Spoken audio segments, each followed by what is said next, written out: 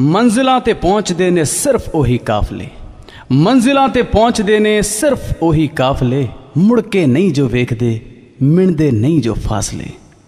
ਔਰ ਇੱਕ ਐਸਾ ਹੀ ਸ਼ਖਸ ਜਿਨੇ ਮੁੜ ਕੇ ਨਹੀਂ ਵੇਖਿਆ ਔਰ ਫਾਸਲਿਆਂ ਨੂੰ ਵੀ ਨਹੀਂ ਮਿਣਦਾ। ਬਸ ਮੰਜ਼ਿਲ ਦੀ ਰਾਹ ਵੱਲ ਤੁਰਿਆ ਹੋਇਆ। ਤਰੱਕੀਆਂ ਤੇ ਤਰੱਕੀਆਂ ਤੇ ਤਰੱਕੀਆਂ, ਕਿਉਂਕਿ ਦਾਤੇ ਦੀ ਮੇਰੀ ਐਨੀ ਹੈ ਜੀ। ਜਿੰਨਾ ਪੁਰਾਣਾ ਸੰਗੀਤ, ਓਨੀ ਪੁਰਾਣੀ ਸੂਫੀ ਗਾਇਕੀ ਹੈਗੀ ਹੈ ਔਰ ਬਦਲਦੇ ਵਕਤ ਦੇ ਨਾਲ ਉਸ ਗਾਇਕੀ ਦੇ ਵਿੱਚ ਮਾਡਰਨ ਸਟਾਈਲ ਦਾ ਸੁਮੇਲ ਹੈਗਾ ਵਾਕਈ ਅਮੇਜ਼ਿੰਗ ਹੈਗਾ ਔਰ ਉਹ ਸ਼ਖਸ ਹੈਗਾ ਡਾਕਟਰ ਸਤਿੰਦਰ ਪਾਲ ਸਿੰਘ। ਹੁਣ ਸੋਚਦੇ ਹੋਗੇ ਕਿ ਇਹ ਨਾਮ ਕੀ ਲੈਤਾ? ਨਾਮ ਹੈਗਾ ਜੀ ਸਤਿੰਦਰ ਸਰਤਾਜ। ਸਭ ਤੋਂ ਪਹਿਲਾਂ ਸਵਾਗਤ ਕਰਦੇ ਹਾਂ ਭਾਜੀ ਤੁਹਾਡਾ ਮਾਇਆ ਐਫਐਮ ਤੇ। ਸਤਿ ਸ਼੍ਰੀ ਅਕਾਲ ਭਾਜੀ। ਸਤਿ ਸ਼੍ਰੀ ਅਕਾਲ ਜੀ ਮਾਇਆ ਫਿਲਮ ਸੁਣਨ ਵਾਲਿਆਂ ਨੂੰ ਸਾਰਿਆਂ ਪੰਜਾਬੀਆਂ ਨੂੰ ਅਦਬ ਨੂੰ ਸਾਹਿਤ ਨੂੰ ਸੰਗੀਤ ਨੂੰ ਪਿਆਰ ਕਰਨ ਵਾਲਿਆਂ ਨੂੰ ਸਤਿਕਾਰ ਸਤਿ ਸ਼੍ਰੀ ਅਕਾਲ ਤੇ ਜੱਸੀ ਜੀ ਤੁਹਾਡਾ ਵੀ ਬਹੁਤ ਸ਼ੁਕਰੀਆ। ਤੁਸੀਂ ਢੋਲ ਵਜਾਉਂਦੇ ਰਹਿੰਦੇ ਹੋ ਤੇ ਵਜਾਉਂਦੇ ਰਹੋ। ਅਰੇ ਵਾਹ। ਬਿਲਕੁਲ ਜੀ 94.3 ਮਾਈ ਐਫਐਮ ਦੇ ਅੱਜ ਸ਼ੋ ਢੋਲ ਵੱਜਦਾ ਦੇ ਵਿੱਚ ਮਹਿਫਲ ਹੈਗੀ ਹੈ ਸਤਿੰਦਰ ਸਰਤਾਜ ਦੇ ਨਾਲ।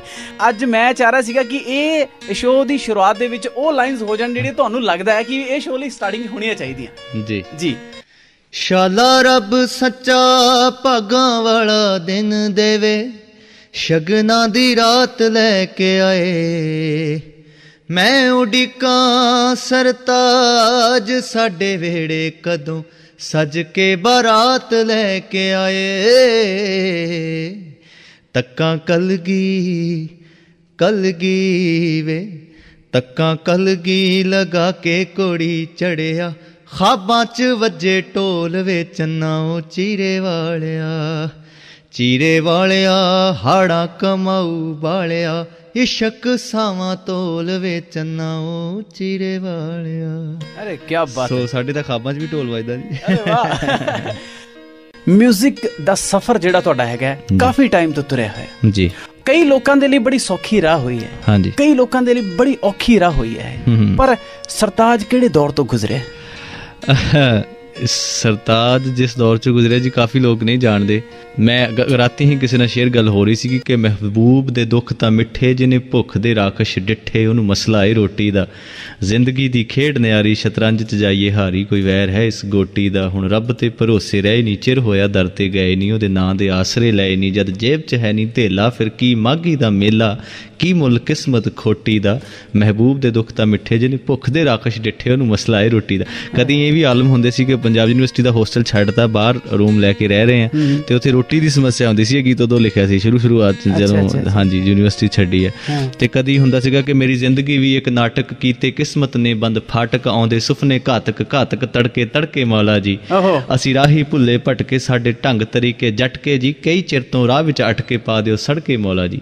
ਸੋ ਕਦੀ ਇਹ ਵੀ ਦੌਰ ਸੀਗਾ ਕਿ ਘਸ ਘਸ ਰਗੜਾ ਖਾ ਕੇ ਹੀ ਮਸ਼ਹੂਰ ਹੋਏਗਾ ਤੂੰ ਸੁਣ ਸਰਤਾਜ ਵੇ ਐਦਾਂ ਹੀ ਮਨਜ਼ੂਰ ਹੋਏਗਾ ਤੂੰ।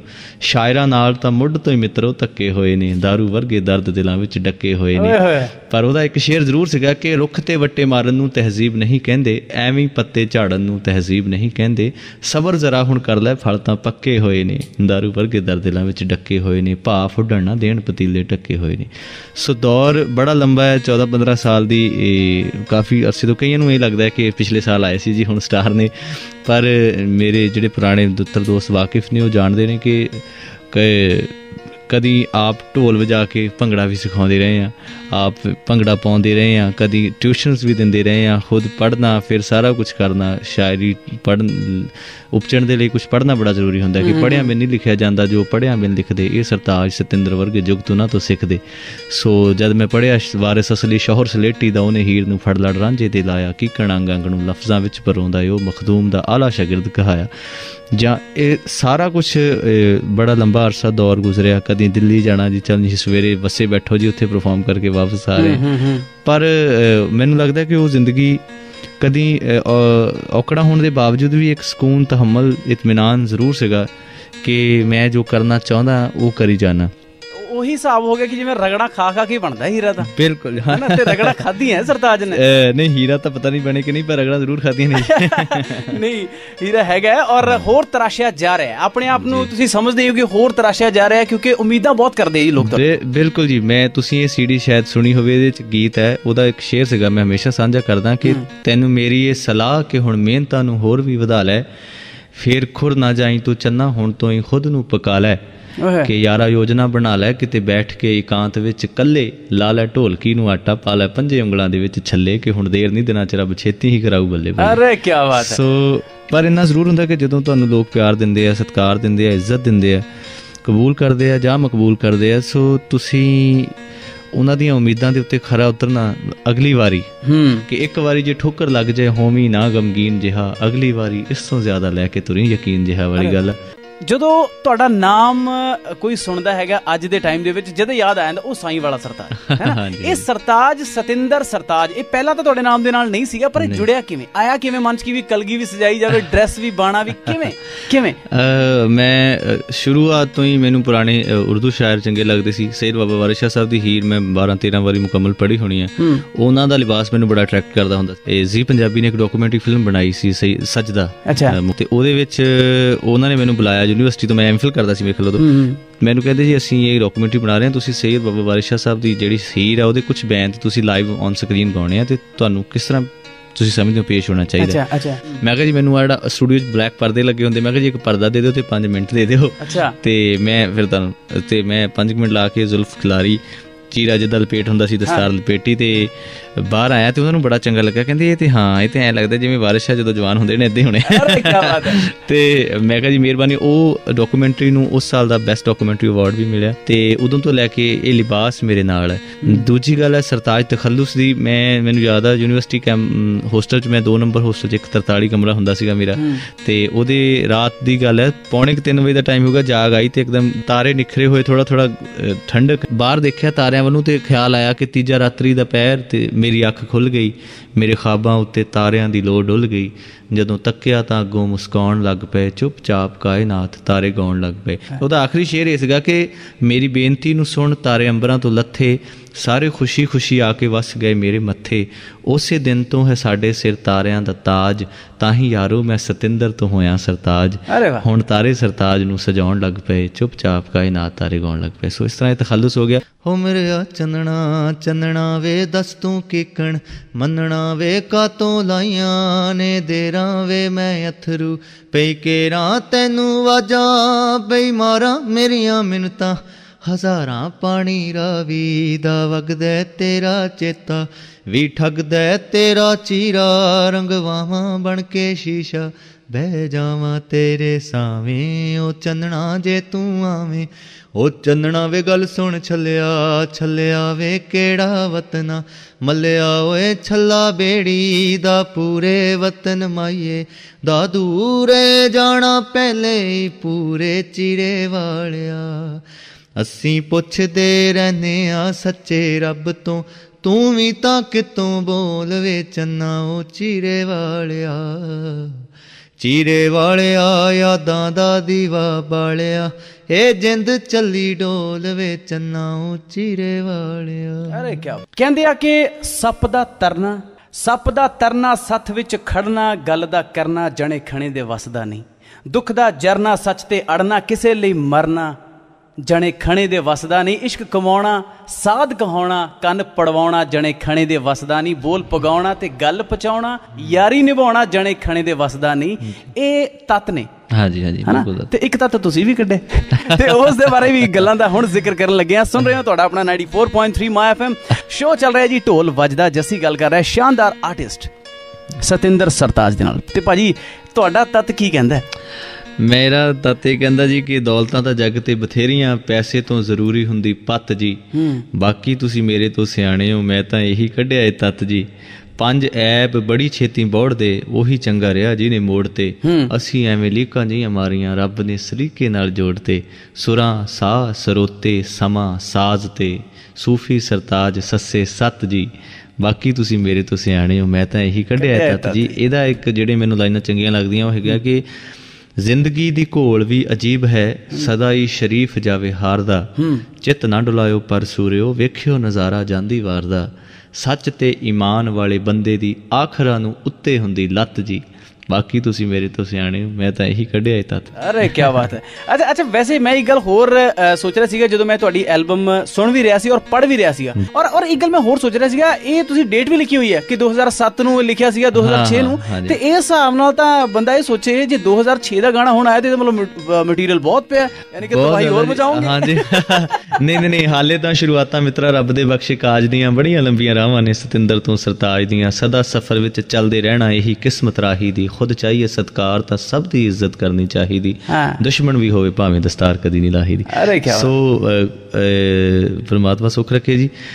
ਕਹਿੰਦੇ ਹੁੰਦੇ ਆ ਕਿ ਤੂੰ ਨਾ ਡਰ ਸਰਤਾਜ ਤੇਰੀ ਡਾਢੇ ਹੱਥ ਲਾਜ ਰੱਬ ਸੁੱਖ ਰੱਖੇ ਕਾਗਜ਼ ਛਪਾਏ ਜਾਣਗੇ। ਜੋ ਨੇ ਸੱਚੇ ਸੁੱਚੇ ਗੀਤ ਦੇਖੋ ਵੱਖਰੀ ਹੀ ਰੀਤ ਲਿਖੇ ਇੱਕੋ ਵਾਰੀ ਸਾਲਾਂ ਤੀਕ ਗਾਏ ਜਾਣਗੇ। ਅਰੇ ਵਾਹ। ਕਹਿੰਦੇ ਆ ਕਿ ਅੱਜ ਦੇ ਜ਼ਮਾਨੇ ਦੇ ਵਿੱਚ ਉਧਾਰ ਮੰਗਣ ਵਾਲਾ ਉਧਾਰ ਮੰਗਣ ਵਾਲਾ ਸਿਰਫ ਇੱਕ ਵਾਰ ਮੰਗਦਾ ਪਰ ਜਿਹੜਾ ਉਧਾਰ ਦੇ ਦਿੰਦਾ ਉਹ ਵਾਰ-ਵਾਰ ਮੰਗਦਾ ਕਿਉਂਕਿ ਅੱਜ ਕੱਲ ਦੇ ਜ਼ਮਾਨੇ ਦੇ ਵਿੱਚ ਲੋਕਾਂ ਦੀ ਫਿਤਰਤ ਹੋਈ ਪਈ ਹੈ। ਤੇ ਤੁਸੀਂ ਵੀ ਕੁਝ ਫਿਤਰਤ ਦੇ ਉੱਤੇ ਲਿਖਿਆ ਹੈਗਾ ਤੇ ਭਾਜੀ ਕਿਸ ਗਾਣੇ ਦਾ ਜ਼ਿਕਰ ਕਰ ਰਹੇ ਸੀਗਾ ਮੈਂ ਪਹਿਲਾਂ ਇਹ ਮੈਨੂੰ ਲੱਗਦਾ ਕਿ ਹਰ ਆਦਮੀ 'ਚ ਹੁੰਦਾ ਇੱਕ ਨੇਕ ਇਨਸਾਨ। ਕੀ ਬਾਤ ਹੈ। ਇਹ ਜਦੋਂ ਮੈਂ ਗਾਣਾ ਸੁਣਦਾ ਪਿਆ ਸੀ ਨਾ ਜ਼ਿਹਨ 'ਚ ਇਹ ਆ ਰਿਹਾ ਸੀਗਾ ਕਿ ਭਾਜੀ ਨਾਲ ਜਾਂ ਤਾਂ ਕਿਸੇ ਬੰਦੇ ਨੇ ਕੋਈ ਗਲਤ ਕੀਤਾ ਹੋਣਾ ਜਾਂ ਤਾਂ ਗਾਣੇ ਦੀ ਆਮਦ ਹੀ ਉਦੋਂ ਹੋਈ ਹੋਣੀ। ਕਿਵੇਂ ਕਿ ਵੈਸੇ ਹੀ? ਮੇਰੀ ਆਦਤ ਆ ਕਿ ਮੈਂ ਬੜੀ ਬਾਰੀਕੀ ਨਾਲ ਉਸ ਬੰਦੇ ਦੇ ਚਿਹਰੇ ਵੱਲ ਦੇਖਦਾ ਰਹਿਣਾ ਇਹਦੀਆਂ ਕੀ ਲੋੜਾਂ ਨੇ ਇਹਦੀਆਂ ਕੀ ਖੁਆਇਸ਼ਾਂ ਨੇ। ਇੱਕ ਅੱਜਕੱਲ ਕੀ ਕਰਦਾ ਕੀ ਕਰਨਾ ਚਾਹੁੰਦਾ। ਤੇ ਹਰ ਇੱਕ ਬੰਦੇ ਦੀ ਇੱਕ ਦਾਇਰਾ ਹੁੰਦਾ ਨਾ ਸੋ ਉਸ ਚੀਜ਼ ਤੋਂ ਚੀਜ਼ਾਂ ਪਨਪਦੀਆਂ ਨੇ। ਕਿ ਇਹਨੇ ਇਹ ਗੱਲ ਜੇ ਗਲਤੀ ਵੀ ਕੀਤੀ ਉਹਦੀ ਪਿੱਛੇ ਵਜ੍ਹਾ ਕੀ ਆ? ਬੇਸਿਕਲੀ ਬੰਦਾ ਕੋਈ ਮਾੜਾ ਨਹੀਂ ਹੁੰਦਾ ਮੈਂ ਦੇਖਦਾ ਤੁਸੀਂ ਹਰ ਆਦਮੀ 'ਚ ਹੁੰਦਾ ਇੱਕ ਨੇਕ ਇਨਸਾਨ ਵਾਲੀ ਗੱਲ। ਜਿਹੜੇ ਬੱਚੇ ਨੂੰ ਜ਼ਿਆਦਾ ਪੱਠੇ ਪਾਉਂਗੇ ਉਹੀ ਬਹਿੜਾ ਬਣ ਜਾਂਦਾ।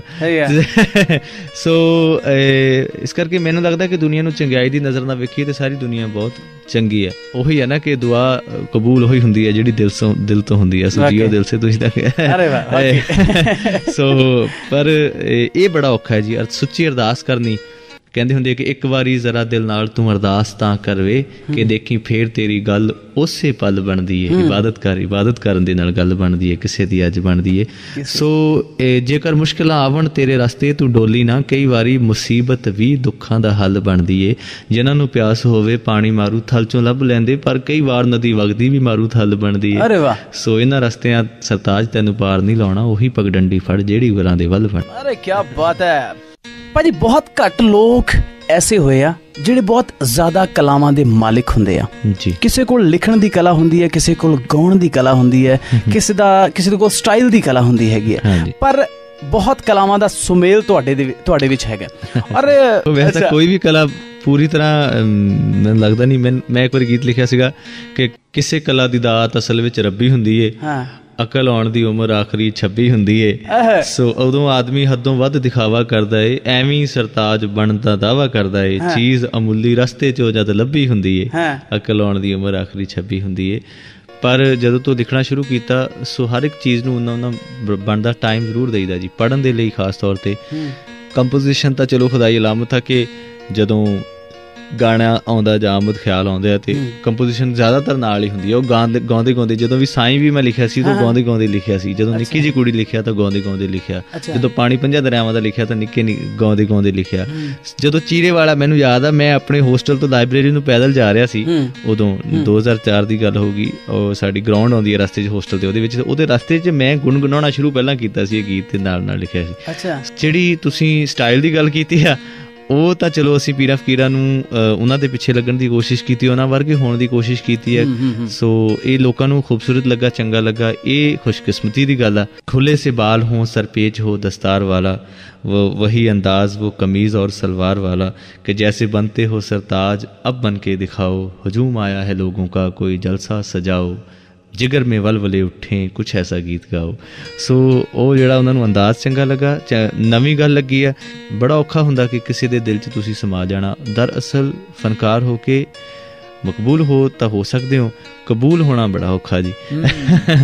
ਮੈਂ ਸਿਰਫ ਮਸ਼ਕੂਰ ਹੋ ਸਕਦਾ ਤੇ ਸਿਰਫ ਇਹੀ ਕਹਿ ਸਕਦਾ ਕਿ ਤਖਤ ਬਣਾਇਆ ਇੱਥੇ ਤੁਸੀਂ ਹੀ ਬਿਠਾਇਆ ਤੁਹਾਡੇ ਪਿਆਰ ਦਾ ਸਰੂਰ ਹੋ ਗਿਆ। ਮਸਲੇ ਉਠਾਈਏ ਨਾ ਕਿ ਅਸਲੇ ਉਠਾਈਏ ਲੋਕੀ ਕਹਿਣ ਨਾ ਗਰੂਰ ਹੋ ਗਿਆ। ਐਸੀਆਂ ਬੁਰਾਈਆਂ ਮੇਰੇ ਮੌਲਾ ਸਰਤਾਜ ਕੋਲੋਂ ਦੂਰ ਦੂਰ ਰੱਖਿਓ ਪਰਾਂ। ਮੇਰਿਓ ਪਿਆਰਿਓ ਸਰੋਤਿਓ, ਮੈਂ ਕਿਵੇਂ ਤੁਹਾਡਾ ਦੇਣ ਦੇਵਾਂ, ਸਜਦਾ ਕਰਾਂ। ਕੋਈ ਗੁਸਤਾਖੀ ਤੁਹਾਡੀ ਸ਼ਾਨ 'ਚ ਨਾ ਹੋ ਜੇ ਮਿੱਥੋਂ। ਸਦਾ ਇਸੇ ਗੱਲ ਤੋਂ ਡਰਾਂ। ਅਰੇ ਕੀ ਬਾਤ ਹੈ। ਕਹਿੰਦੇ ਆ ਕਿ ਨੈਣਾ ਸੰਗ ਨੈਣ ਜੋ ਲੜਦੇ, ਲੱਗਦੇ ਦਿਨ ਪਿਆਰੇ ਪਿਆਰੇ, ਧਰਤੀ ਤੇ ਪੈਰ ਨਾ ਲੱਗਦੇ, ਪੌਣਾ ਚੋਂ ਆਉਣ ਹੁਲਾਰੇ। ਤੇ ਐਸੇ ਪਿਆਰ ਦਾ ਅਹਿਸਾਸ ਹਰ ਇੱਕ ਤੇ ਵੱਖਰਾ ਵੱਖਰਾ ਹੁੰਦਾ ਹੈ। ਤੇ ਤੁਸੀਂ ਵੀ ਕੁਝ ਵੱਖਰੇ ਵੱਖਰੇ ਦੀ ਗੱਲ ਕੀਤੀ ਹੈ ਉਸ ਅਹਿਸਾਸ ਦੀ ਕਿਹੜੇ ਗਾਣੇ ਦਾ ਜ਼ਿਕਰ ਮੈਂ ਮੇਰੇ ਖਿਆਲ 'ਚ ਜਦ ਤੱਕ ਮੇਰਾ ਖਿਆਲ ਹੈ ਉਹ ਹੈਗਾ ਕਿ ਦਿਲ ਸਭ ਦੇ ਵੱਖਰੇ ਜੀ ਕਿਸੇ ਦੀ ਲੋਰ ਕਿਸੇ ਦਾ ਜ਼ੋਰ ਅਸੀਂ ਕੀ ਕਰੀਏ? ਵਾਕਈ ਵਾਕਈ ਵਾਕਈ। ਬਹੁਤ ਬਹੁਤ ਅਮੇਜ਼ਿੰਗ ਲਿਖਿਆ ਔਰ ਅਮੇਜ਼ਿੰਗ ਗਾਇਆ ਹੈਗਾ ਤੁਸੀਂ ਇਸ। ਨੂੰ ਤੁਸੀਂ ਜਿਵੇਂ ਬੈਠ ਕੇ ਕਹਿੰਦੇ ਹੋ ਜੀ। ਕਿ ਯਾਰ ਅੱਜ ਕੱਲ ਦੇ ਟਾਈਮ ਦੇ ਵਿੱਚ ਫੰਕਸ਼ਨ ਜਾਂ ਸ਼ੋਜ਼ ਲੱਗਣੇ ਯਾਰ ਤੜਕ ਭੜਕ ਚਾਹੀਦੀ ਹੈਗੀ ਆ ਤੇ ਮੈਂ ਉਦਾਂ ਦਾ ਵੀ ਕੁਝ ਕਰਾਂ। ਐਦਾਂ ਕਦੀ ਮਨ ਚ ਆਇਆ ਸੀਗਾ? ਕਿ ਮੈਂ 2001 ਤੱਕ ਮੈਂ ਭੰਗੜਾ ਆਰਟਿਸਟ ਰਿਹਾ ਜੀ। ਅੱਛਾ। ਹਾਂਜੀ ਕਾਲਜ ਤੇ ਯੂਨੀਵਰਸਿਟੀ 'ਚ ਮੈਂ ਲੀਡ ਤੇ ਭੰਗੜਾ ਪਾਉਂਦਾ ਰਿਹਾ ਹਿੰਦੁਸਤਾਨ ਨੂੰ ਰਿਪਰੈਜ਼ੈਂਟ ਕੀਤਾ ਸੀ ਦੁਬਈ ਇੰਟਰਨੈਸ਼ਨਲ ਕਲਚਰ ਫੈਸਟੀਵਲ ਦੇ ਵਿੱਚ ਐਜ਼ ਭੰਗੜਾ ਪਲੇਅਰ ਮੈਂ। ਖੜ ਕੇ ਵੀ ਮੈਂ ਗਾਉਂਦਾ ਰਿਹਾ ਪਰਫਾਰਮ ਕਰਨਾ ਕਿਤੇ।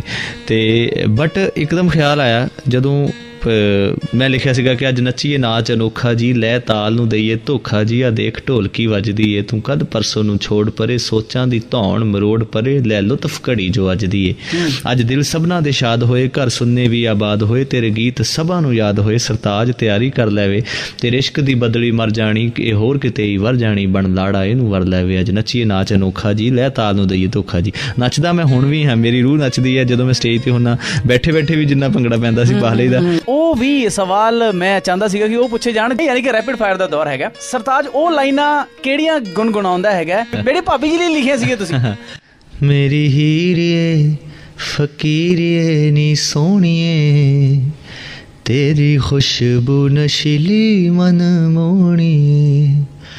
ਮੈਂ ਤਾਂ ਚਿੜੀਆਂ ਨੂੰ ਪੁੱਛਾਂ, ਕੁਝ ਬੋਲੋ ਨੀ। ਕਦੋਂ ਆਉ ਮੇਰੀ ਹੀਰ ਪੇਦ ਖੋਲੋ ਨੀ ਤੁਸੀਂ ਜਾਓ, ਸੱਚੀ ਜਾਓ ਨੂੰ ਟੋਲੋ ਨੀ ਜਾ ਕੇ ਫੁੱਲਾਂ ਵਾਲਾ ਜੰਗਲ ਫਰੋਲੋ ਨੀ ਉਹ ਗੁਲਾਬ ਦੀਆਂ ਪੱਤੀਆਂ 'ਚ ਹੋਣੀ ਤੇਰੀ ਖੁਸ਼ਬੂ ਨਸ਼ੀਲੀ ਮਨ ਮੋਹਣੀ ਅਰੇ ਅਲਟੀਮੇਟ ਅੱਛਾ ਭਾਜੀ ਕਾਲਜ ਟਾਈਮ ਦੇ ਵਿੱਚ ਸਰਤਾਜ ਕਿਹੜੇ ਸਿੰਗਰ ਦਾ ਲਾਈਵ ਸ਼ੋਅ ਸੁਣਨ ਲਈ ਹਮੇਸ਼ਾ ਕ੍ਰੇਜ਼ ਰੱਖਦਾ ਸੀਗਾ? ਯਾਰ ਮੈਂ ਇਹਦਾ ਲਾਈਵ ਸ਼ੋਅ ਸੁਣਨਾ। ਮੈਨੂੰ ਖੁਸ਼ ਬੜੀ ਖੁਆਇਸ਼ ਰਹੀ ਹੈ ਜ਼ਿੰਦਗੀ 'ਚ ਖਾਨ ਸਾਹਿਬ ਨੁਸਰਤ ਫਤਿਹ ਅਲੀ ਖਾਨ ਸਾਹਿਬ ਨੂੰ ਲਾਈਵ ਦੇਖਣ ਦੀ। ਓਕੇ ਇੱਕ ਵਾਰੀ ਅਸੀਂ ਕਾਲਜ ਪੜ੍ਹਦੇ ਹੁੰਦੇ ਸੀ ਮੈਂ ਗਵਰਨਮੈਂਟ ਕਾਲਜ ਹੁਸ਼ਿਆਰਪੁਰ ਤੋਂ ਗ੍ਰੈਜੂਏਸ਼ਨ ਕੀਤੀ ਹੈ। ਉਦੋਂ ਅਫਵਾਹ ਹੀ ਫੈਲੀ ਸੀ ਕਿ ਪਟਿਆਲਾ ਆ ਰਿਹਾ ਨਹੀਂ। ਮੈਂ ਉਦੋਂ ਜ਼ਿੰਦਗੀ 'ਚ ਪਟਿਆਲਾ ਨਹੀਂ ਸੀ ਦੇਖਿਆ ਹਾਲੇ ਤੱਕ। ਤੇ ਬੜੀਆਂ ਸਕੀਮਾਂ ਲਾ ਕੇ ਘਰਦਿਆਂ ਨੂੰ ਕੀ ਕਹਾਂਗੇ ਕੀ ਕਹਾਂਗੇ ਪਰ ਪਤਾ ਨਹੀਂ ਕੀ ਹੋਇਆ ਖਾਨ ਸਾਹਿਬ ਉਦੋਂ ਨਹੀਂ ਆਏ।